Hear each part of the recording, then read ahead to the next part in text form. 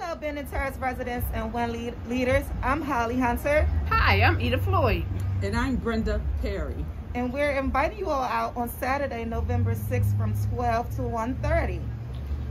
Where uh, Director Brenda Donalds will be there so you can voice your um, ideas, your opinion of what's going on in the community of Benning Terrace. Come on, we're going to have fun. And you get to talk to different people. It's going to be a blast. So again, November 6th from 12 to 1 in football field. See you there. Yay! I want everybody to come down here on November 6th at on 12 at 12 o'clock. And for plan action, I need everybody to come outside before we get things done in our community.